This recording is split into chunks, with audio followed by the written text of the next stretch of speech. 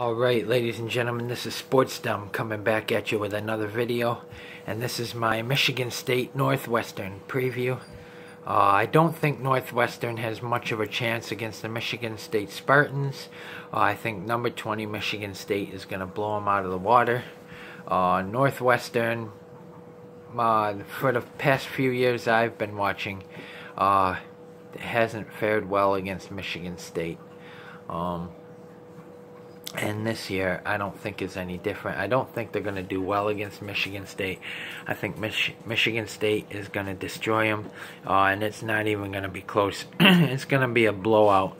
Um, I think Michigan State wins and wins big.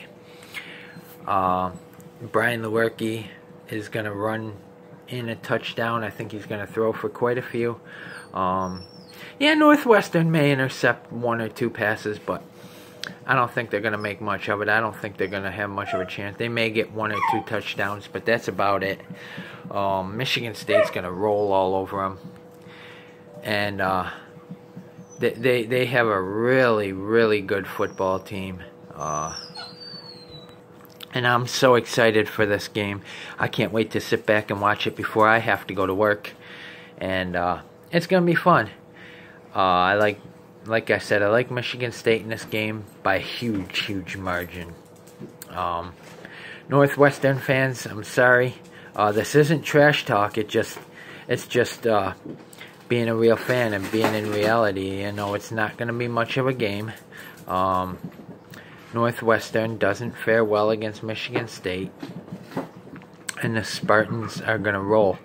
They uh, they want to go to a bowl again this year.